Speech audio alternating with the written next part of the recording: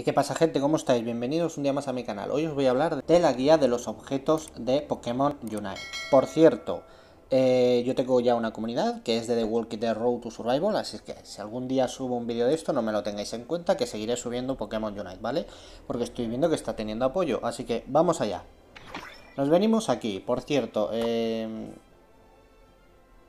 aquí tenéis el, el ID de mi entrenador que es RNE36 XK, por si queréis uniros a mí y jugar alguna vez, ¿vale? Bueno, vamos con los objetos equipados, vale, vamos a ver todos. Aquí están todos los objetos equipados, pero vamos a ir por partes. Primero, con los de puntuación. Aquí tenemos rodillera de escudo, que nos dice, otorga un escudo equivalente al 5% de los puntos de salud máximos al intentar marcar tantos, que serán imbloqueables mientras el escudo esté activo. Bien, aquí lo que nos está diciendo este objeto es que nosotros cuando se lo equipamos, ya sabéis que cuando os metéis en el anillo para puntuar, cuando os golpean, eh, no puedes puntuar, se te bloquea. Pues con este objeto eso no pasa, te dejará puntuar. Bien, vayamos ahora con la galleta Aeos. Aumenta los PS máximos en 100 al marcar tantos. Vale, este objeto es bastante interesante, porque nos dice que cada vez que puntuemos nos van a dar 100 puntos de salud. ¿De acuerdo? Pero lo que no nos dice es cuánto puntaje tenemos que hacer. Puedes perfectamente poner el máximo de puntos o simplemente tienes un punto, te falta salud, metes el punto y te rellena la salud. Con lo cual este objeto está bastante bien para, para aguantar un poquito más en la partida, para no tener que retroceder, sino que ves un hueco, vas, puntúas y ganas puntos de salud. Luego tenemos pesas ofensivas. Aumentan el ataque en 6 al marcar un tanto. Nuevamente aquí no nos especifica si se acumula o no, habrá que probarlo, pero por lo menos sabemos que cuando puntuamos nos sube el ataque un 0,6%, ahí pone 6 pero abajo pone 0,6, entiendo que a medida que se vaya mejorando subirá.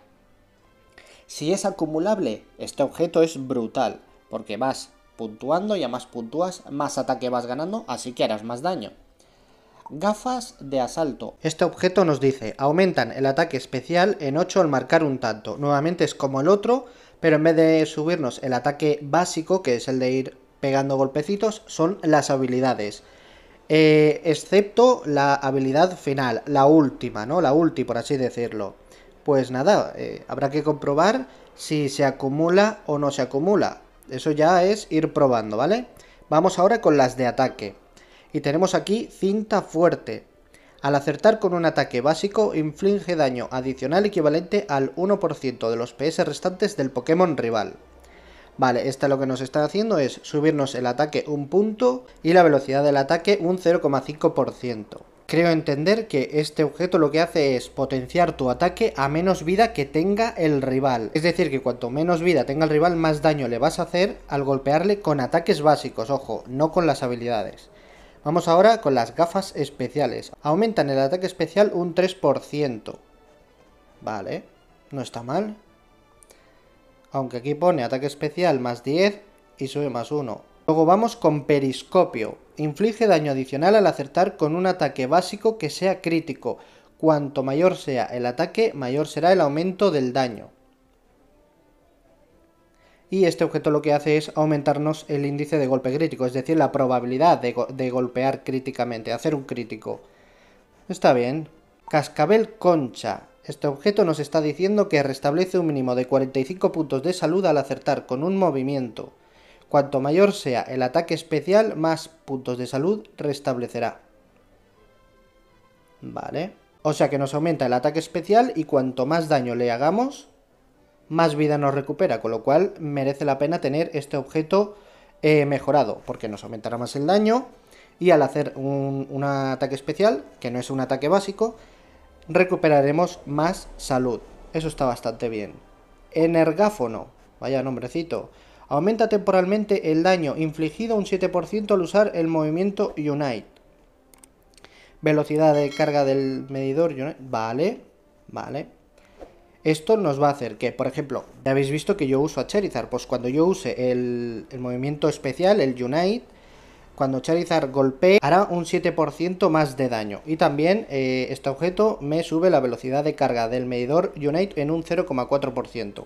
A medida que lo mejore, pues irá a más. Ahora tenemos garra afilada. Tras usar un movimiento, aumenta el daño infligido con el siguiente ataque básico en 10 o más. Cuanto mayor sea el ataque del usuario, más lo incrementará. Si la lleva un Pokémon experto en combates cuerpo a cuerpo, también reduce temporalmente la velocidad de, desplazamiento de los Pokémon rivales.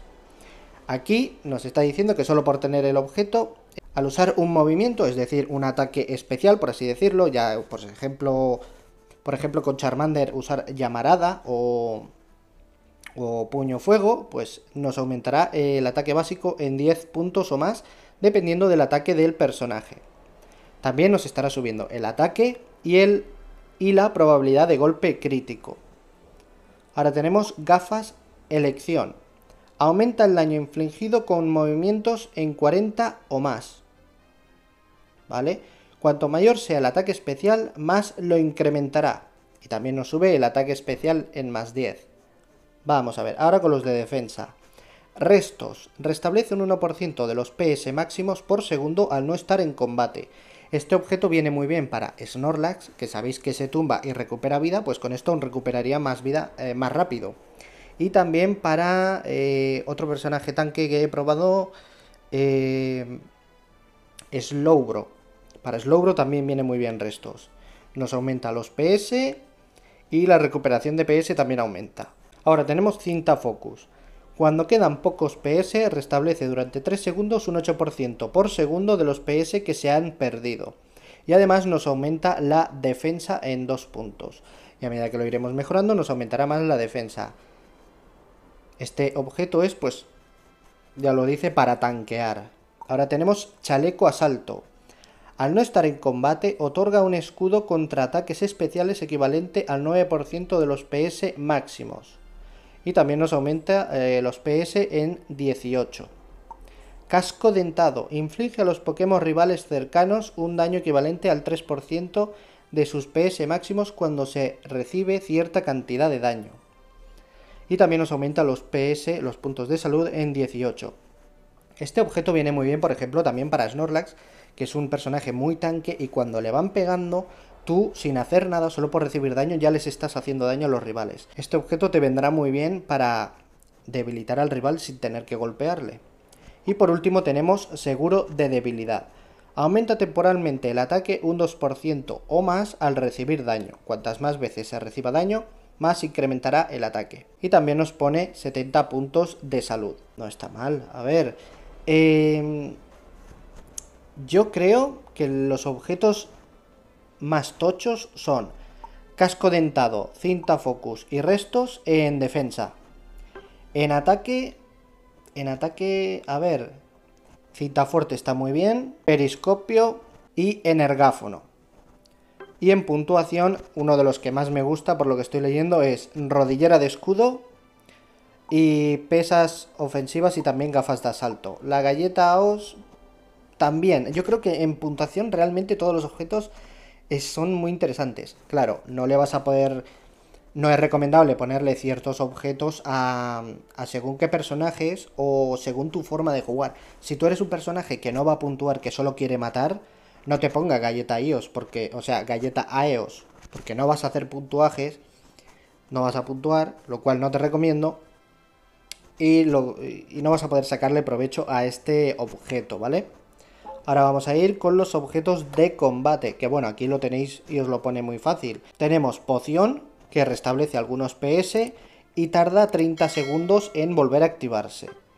Luego tenemos ataque X, aumenta temporalmente el ataque y el ataque especial y tarda 40 segundos en volver a activarse.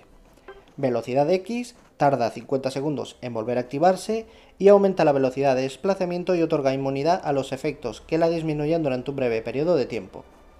La cola Skitty, que tarda 25 segundos en volver a utilizarse, dice, al usarla aumenta el daño infligido a Pokémon salvajes y los incapacita temporalmente. O tenemos botón de escape que tarda 70 segundos en volver a activarse. Desplaza al Pokémon de inmediato en la dirección seleccionada. Esto sirve pues para huir del enemigo.